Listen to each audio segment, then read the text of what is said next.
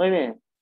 El día de ayer nos habíamos quedado por la aurora, la boreal, ¿verdad? O la aurora eh, polar o la aurora austral, dependiendo en qué parte del hemisferio nos encontráramos. Bueno, ahora tenemos los tornados.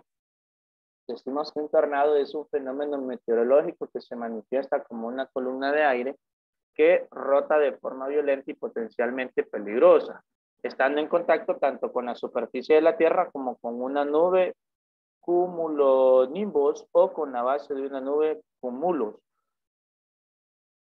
Entonces ahí tenemos la, la nube, perdón, el tornado donde se ve una nube y que hay contacto con la nube y hay contacto con el, eh, la superficie terrestre. Y el tornado, recuerde que es un, una especie de remolino que va girando, va girando y va arrastrando todo lo que encuentra a su, en su camino son peligrosos. Esto en Estados Unidos son muy comunes. Aquí no, no suele pasar este tipo de fenómeno atmosférico. Entonces vamos copiándolo y después de que lo copiemos hacemos el dibujo del tornado y lo coloreamos. El que está abajo.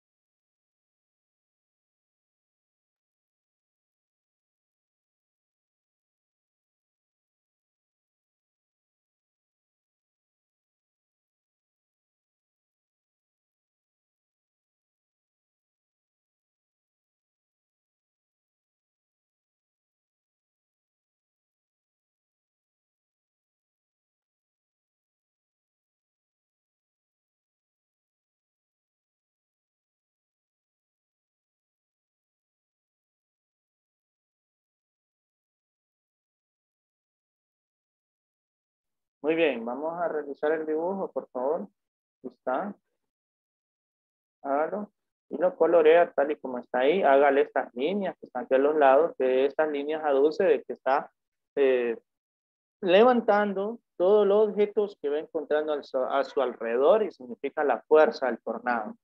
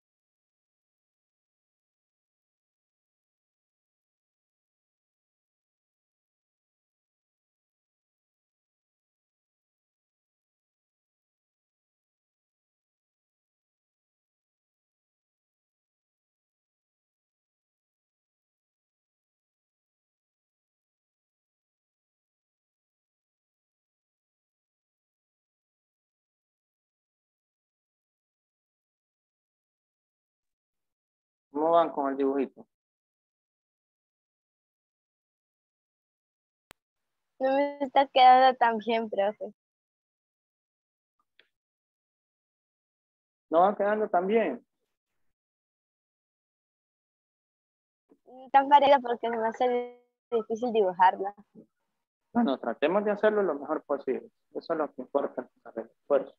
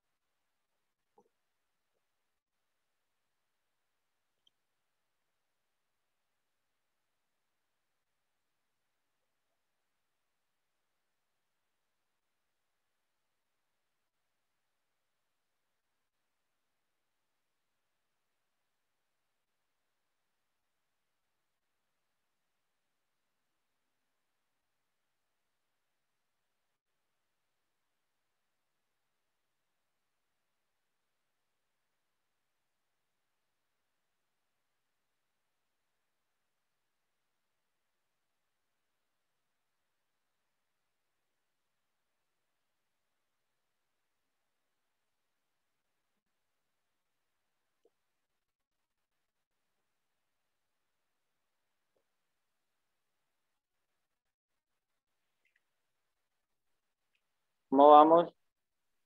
Yo tres. ¿Ya terminó? Sí. Ángela.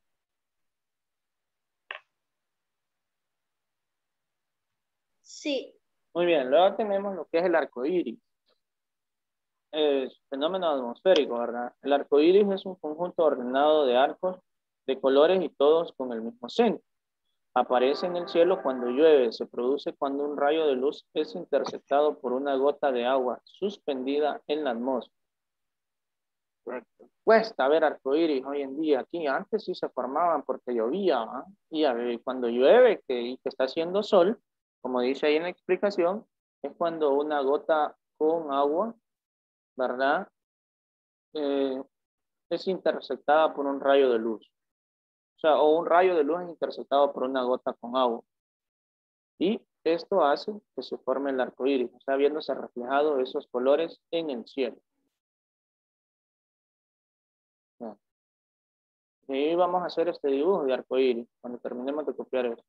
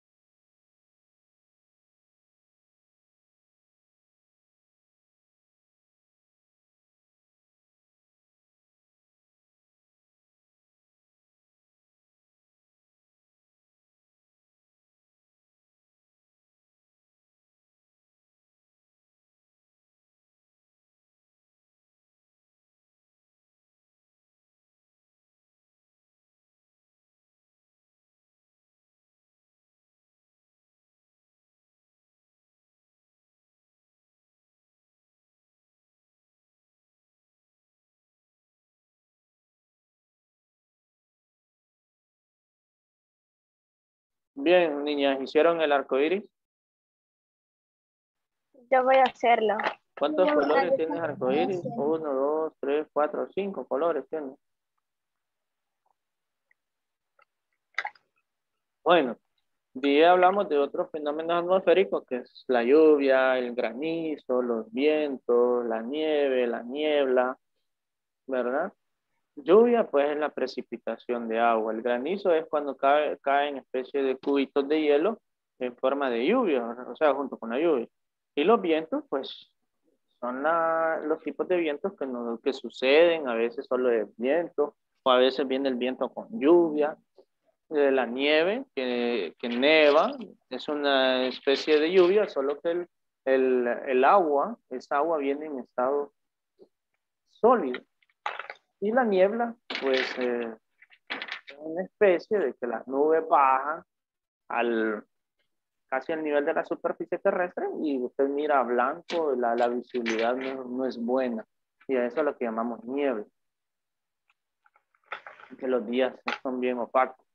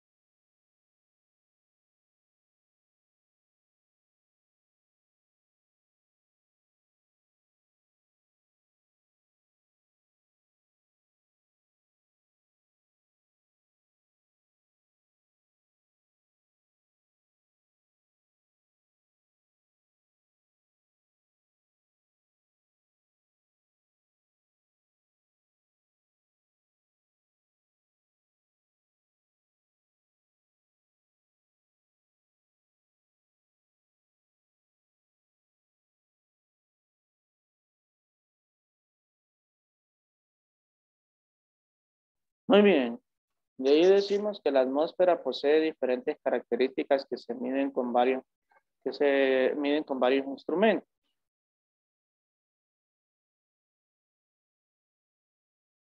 ¿Cuáles son esos instrumentos? Pues tenemos eh, que para medir la humedad se calcula con un instrumento llamado higrómetro.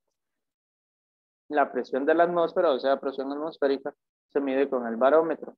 El viento con una veleta y su velocidad, eh, o sea, el viento en sí lo vamos a medir con una veleta. Y la velocidad con la que está soplando ese viento se mide con un anemómetro. Anemómetro. Ahora, la precipitación, o sea, la lluvia, cuando nos referimos a milímetros, o sea, cuántos milímetros de lluvia cayeron si hoy llueve, hay una forma que lo miden que se llama pluviómetro, que es donde va cayendo el agua de todo lo que está lloviendo y ese nivel Hasta donde sube es como dicen, bueno, cayeron tantos metros cúbicos de agua. De ahí la temperatura. ¿Cómo le toman la temperatura a ustedes? ¿Con qué tipo de instrumentos la toma su mamá o su papá? O su tía, su abuelo, abuelita, cuando se enferma. Y quieren saber si anda fiebre o no anda fiebre. ¿Con qué le toman la temperatura? Ajá. Bueno, hoy en día con esto del COVID-19, ¿con qué nos toman la temperatura?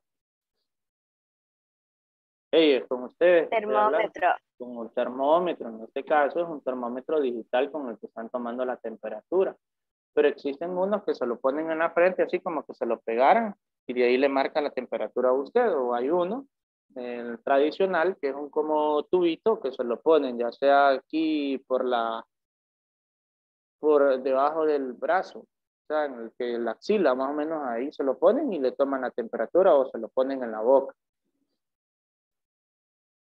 Y su medida puede ser en grados Celsius o Fahrenheit.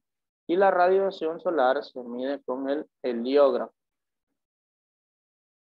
Una especie de rueda donde va marcando lo, a tal hora, en qué punto estaba el sol y así sucesivamente.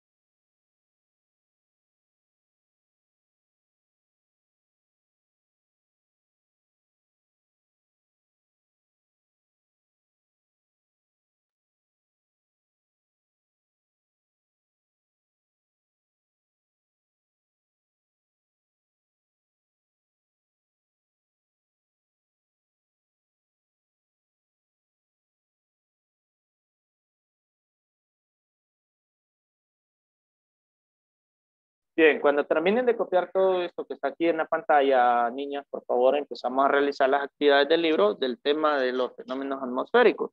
No me recuerdo cuál es la página, entonces lo que necesito es que se vayan al índice y de ahí busquen cuáles la, las páginas. No sé si es la página 150, 154, las que hay que trabajar. 154, no, 150, 152, sí creo que son las 150 y las 153 que hay que trabajar, por ahí más o menos.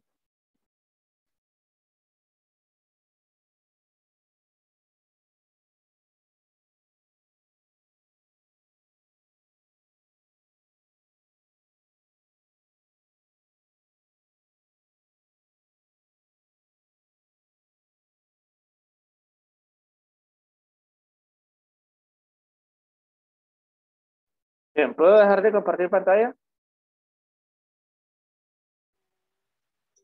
Sí. Sí, usted ya terminó. Sí. Sí.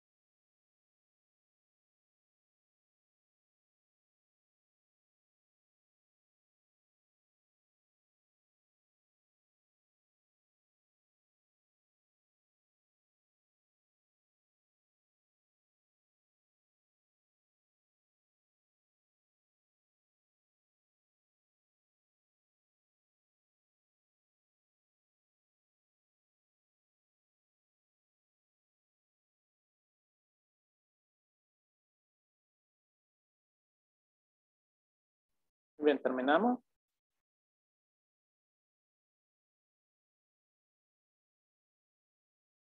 Terminamos de hacer las Yo actividades. no, profe. Muy bien, termine de realizar las actividades, por favor.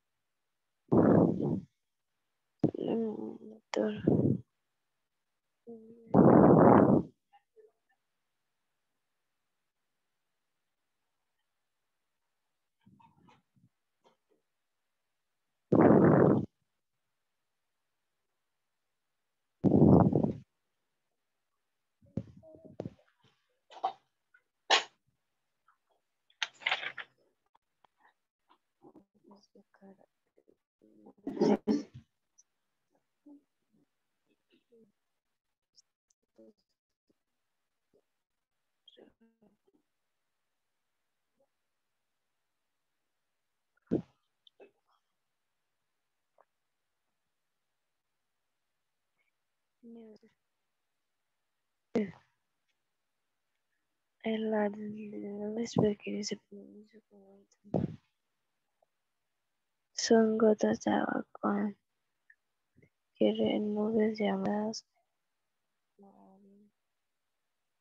diferentes posiciones.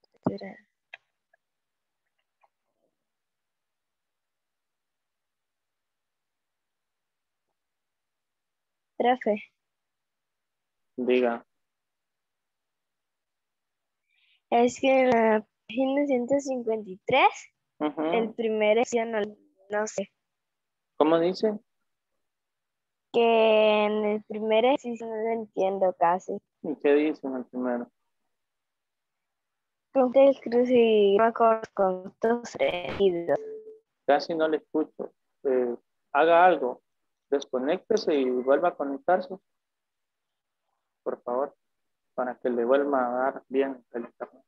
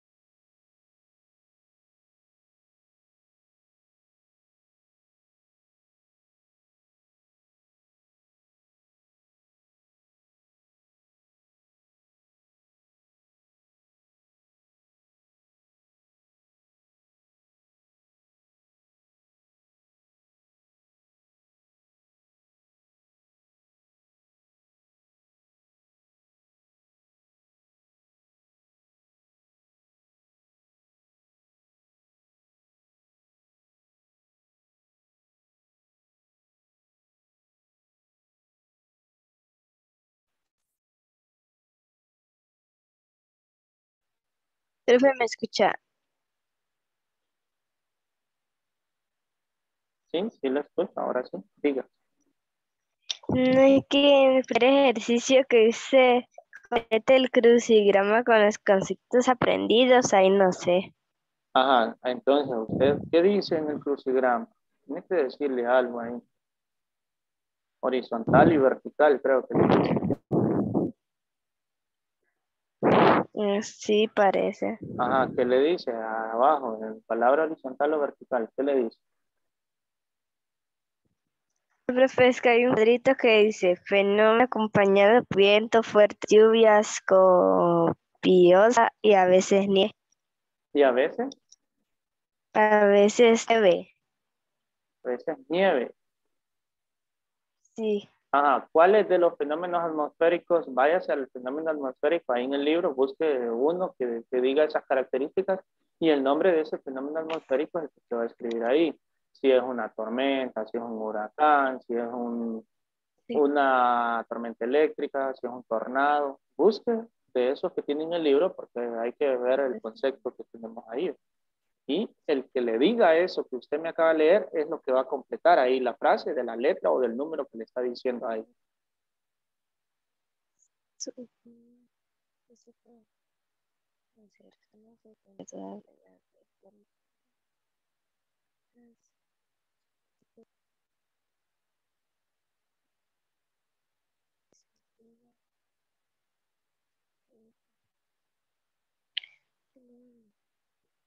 在和和和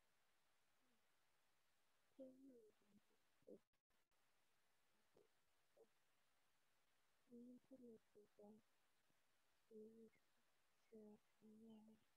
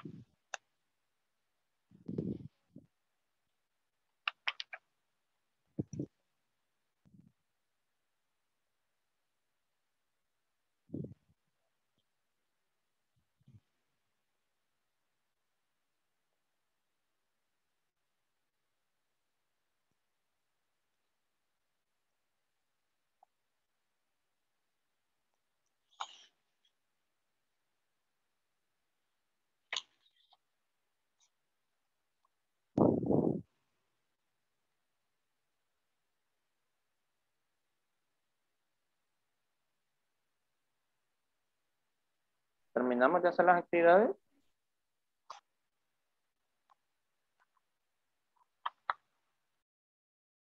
¿Terminamos? ¿Ya le entendió cómo va a realizar el crucigrama?